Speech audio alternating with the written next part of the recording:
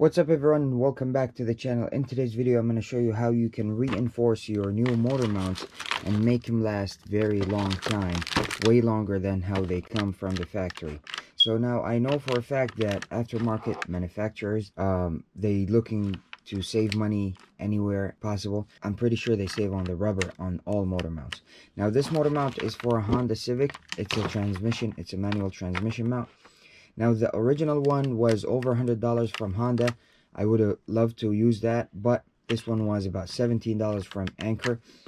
This is the brand for it. And what I do after I buy the motor mounts or the transmission mounts, I reinforce them and I'll show you how I do that. Okay, so the engine and the transmission are meant to rock back and forth just a little bit to allow for movement when you're taking off or you're going into reverse or shifting gears.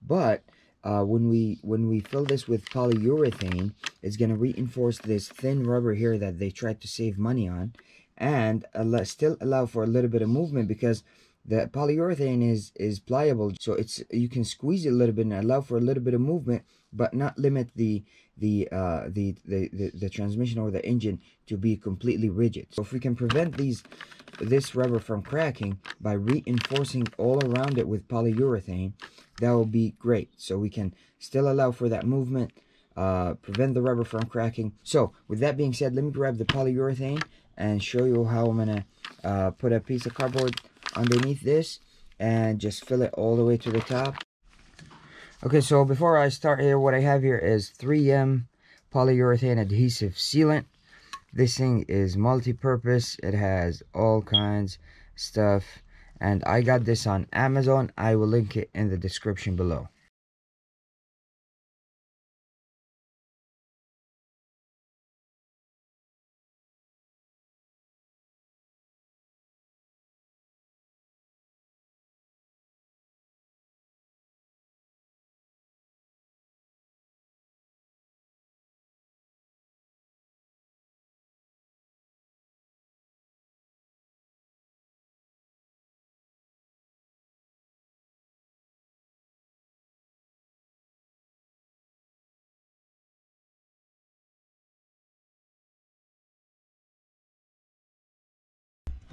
All right so that is it. This is the bottom side and this is the top side. It is completely filled.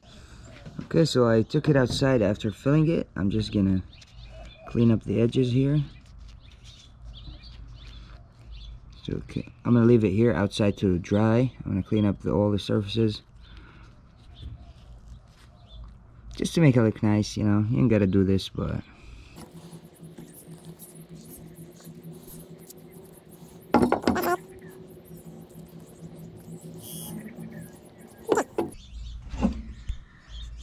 okay so that's it. I'm gonna leave it here let it dry. It takes about 24 hours.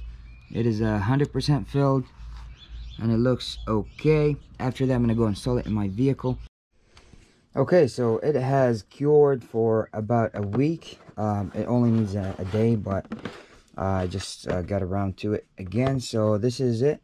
It is uh it's uh, pretty pliable still but of course does not have as much movement as it used to but it's really filled in really well. Okay i just pulled out the transmission mount and this is the old one and this is the new one. The old one has some cracking in some places. It, shows better when you twist it. This one's gonna last way longer and it's gonna be stiffer and hopefully it drives better. So this is new this is old. Let me install this and i will let you guys know honestly how I think of the drivability of the vehicle after I install this with such stiffness in it. So let's work on installing this. Okay so the new motor mount is fully installed as you can see. That's it right there. And now I'm just gonna finish putting the car together and I'm gonna take it for a test drive. Okay so I am driving the car right now and it feel quite normal honestly. Uh, I don't feel much of a difference. Uh, I know the previous motor mount was uh, had cracks in it it was a bit too soft but it wasn't all the way gone. And uh, this actually does not feel too bad at all. I know it's gonna last a very long time. And I know it's very well enforced and it's not too bad driving it. Doesn't feel too stiff or anything. So with that being said i hope this video is helpful to you. If it is please give it a big thumbs up please subscribe down there and I'll catch you on the next one. Peace.